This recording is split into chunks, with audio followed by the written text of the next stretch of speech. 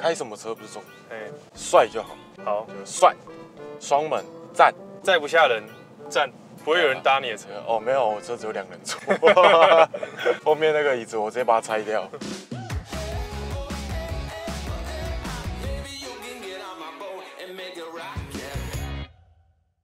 欢迎来到中古车直播场，脚好酸，脚很酸。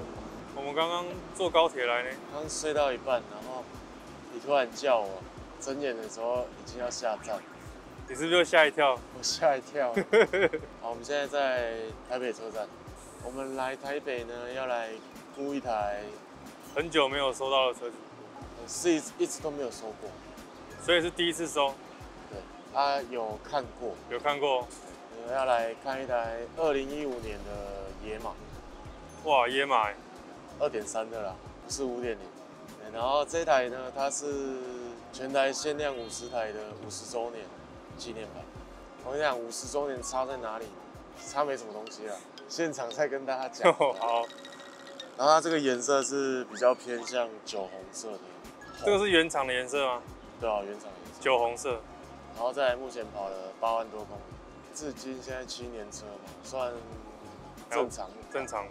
可我觉得算跑的算少，市面上外汇也蛮很多，有些跑了十万的也是蛮多的。然后这台车我觉得一五年跑八万多不算多了，这个野马最近好像价格好像有浮动，浮动是什么意思？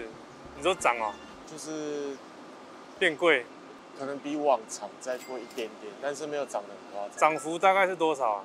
涨幅好像几万块而已，哎，几万块也是涨。哦，好好。你可以换成另外一个解说，就是它没有掉，你说过了这么久时间，就价格没有降，对，但是它新车也是不便宜，新车也要一百九十几万，正常在收的行情，因为五十周年跟一般版本其实没有落差很大，那所以价格其实差不多都是在九十上限，一五年的价格。那我们等一下就是先做捷运到士林，然后我们再坐建车到客人。今天是一场硬战，等一下可能要麻烦你先坐高铁回去，为什么？因为我到晚上八点还会在台北。你今天是不是要雇很多台车？对啊，今天你放假，我不能耽搁你太多时间。好，那我们就赶快出发。OK。现在我们真的很缺车，一定高价收购你的爱车，等你哦。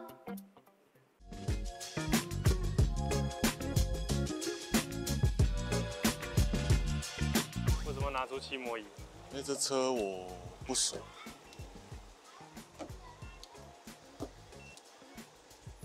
当不熟的时候就是要请出漆膜仪。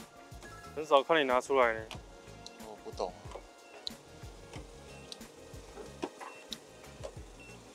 这有公差，它这个原厂的公差，它这边已经调过了，这个比较明显。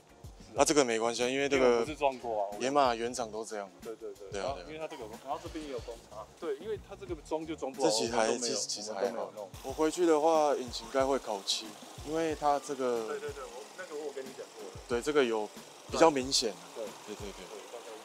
然后轮轮框的话，右后会烤，其他的没有像右后这么明显。你们当初那个五十周年啊，它新车价有加吗？有有加。新新车的话是弄好快两百两百零几万。两百零几万。对。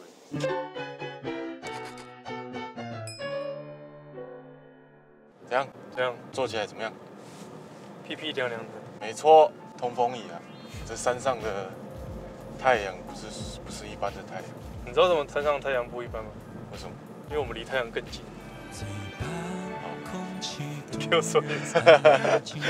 好的，来介绍一下这台二零一五年的野马，英文怎么念 Mustang，？Mustang，没有错，Mustang，它是二点三的引擎。这一台野马呢，它是比较特殊一点，它是限量五十台的五十周年纪念。当初的新车定价是一百九十万八千，因为在五十周年出来的时候，一般版本有降价，降到了一百八十六万，等于五十周年多了它四万块。五十周年差在哪里？就是第一个是水箱护罩，那个 logo，对，水箱护罩的 logo 就是那只马，就旁边还有一个框框去围着它。然后再的话就是车尾分辨总代理跟外汇，就是它是公尺处，总代理的话它是有一个圆圈，logo 是在圆圈里面，但是外汇的话就没有那个圆圈。就剩那只马，对，就剩那只马。奔放的野马。对，没有错，奔放的野马，从国外流浪到台湾的。然后五十周年的话，就是你总代理的野马就是圈圈里面嘛，它在底下又有多一个五十 year，五十年的字样。对对对对，基本上外观就是差前后的 mark，前面的水箱护罩跟后面的 mark。它里面有差吗？里面有差，里面的话基本上我们副驾前面的那个名牌、啊，也是有五十周年。再来的话呢，就是椅背有野马的 logo，野马的 logo 下面有那个五十周年的字样，我觉得好看，但是你坐上去就看不到。我现在用我的背感受那个 logo，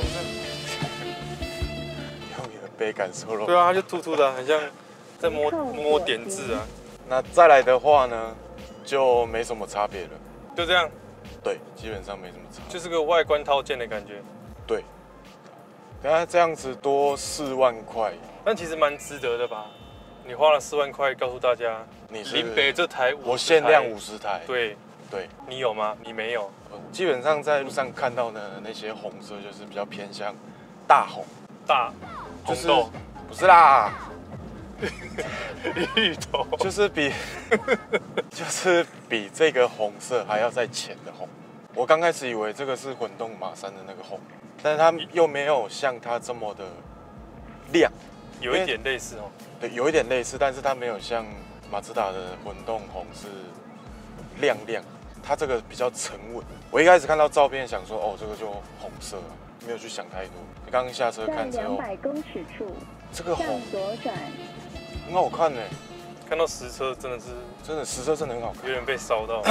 嗯，野马基本上几乎每一台野马，向左转，它的新车都有公差，对，那所以它都会做一些调整，你说板件的公差吗？没有错，那不就跟特斯拉一样？没没有错。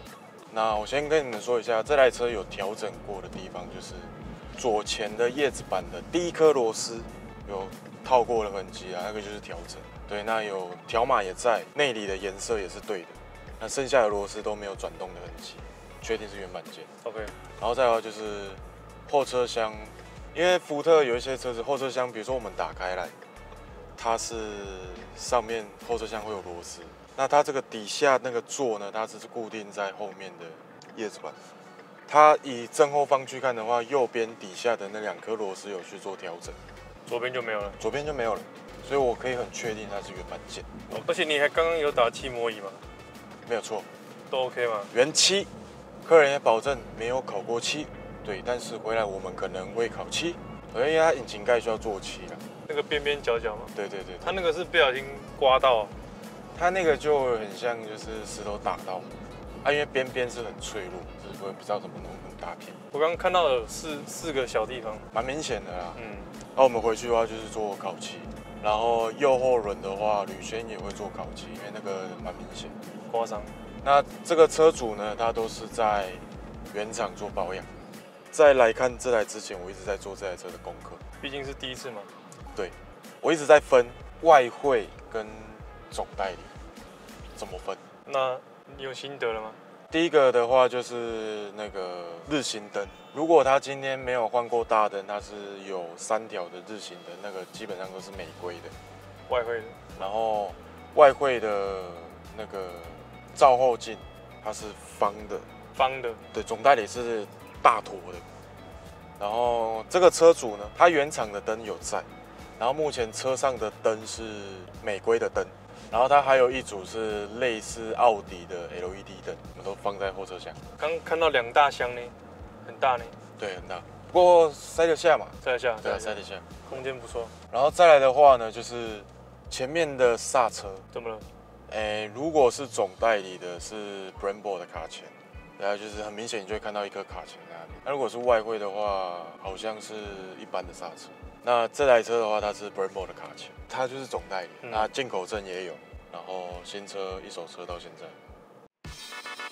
买车卖车首选巨匠汽车，也许秘密，价格绝对呼你满意。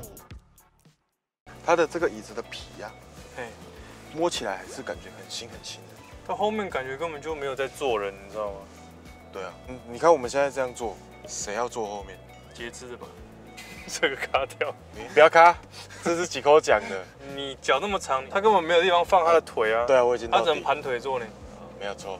所以我说的是事实啊，可以吧？我这样有凹回来吧？给让网友去评你。然后野马这个车要注意的重点就是引擎会不会进水，有没有进过水？什么意思？怎么进水？就是它的设计上，它会就是如果在大补大吹的时候，那个垫片就是会，我就看网络上，它就是可能水道会容易冲出来，哪里的水道？引擎里面的水道。你说散热的那个哦、对，所以呢，在估这个车，我们都会先瞄一下水箱还有没有水，然后有没有漏油。对，那这台车是没有的，没问题。很棒。那野马有个缺点呢，就是我觉得它的悬垫啊太跳了吗？特别硬，你会不会觉得比较硬一点？就坐不习惯。这还不是我坐过最硬的，最硬的是什么车？闯不知道中站吧？三百公尺啊，你有坐过中站啊？有啊，啊，咚咚咚咚咚咚咚咚，啊，你说那个巴士的那个，就就国军的，哦，我我好像也有坐过，你只要坐过那个，你坐什么车你都觉得好坐，那个不常坐，可是现在这车不会让我不舒服，就是你说虽然跳，可是你不会不舒服，有些跳是你真的会不舒服，你会很难受，你不想真的不想坐这台车，但这台车不会有那种感觉。车主蛮固车的，他四条轮胎都换新了。然后他是换倍耐力的 PE Zero，那个胎是不是很贵啊跑？山的嘛，很贵。性能胎。对，呃，偏向抓地力比较好。你刚刚在山路不是有稍微转一下？哦我觉得很棒啊，它不会让你觉得它是一台大车，因为它的车长其实也不短，因为它车头比较长吧？对，它车头比较长，它每次机油车都这样，车头长长，那我觉得很可以啊，想换车考虑一下。一四三有人要接手，一定有啦。可是你甘愿开这个二点三吗？开什么车不是重点，哎，帅就好，好，就帅，双门赞。载不下人，站，不会有人搭你的车。哦，没有，我车只有两人坐，后面那个椅子我直接把它拆掉，感觉开这个车都帅起来，妈手都出来你要不要秀一下？了，我没有妈手。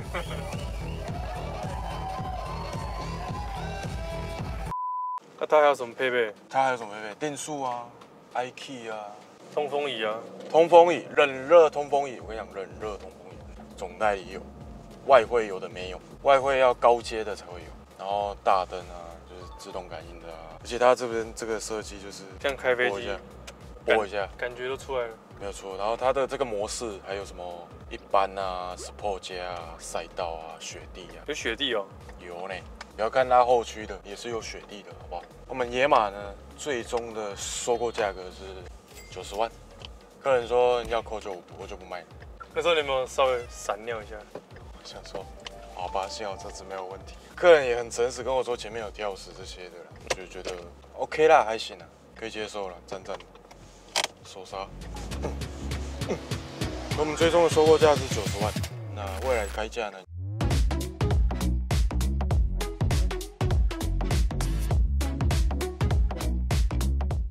那我们今天这支野马的影片先到这边。好，那如果有喜欢我们的影片，记得订阅我们的频道并开启小铃铛。那如果你想知道你车子的价格，建议你直接在我们官方 line，我们有时间就马上回复。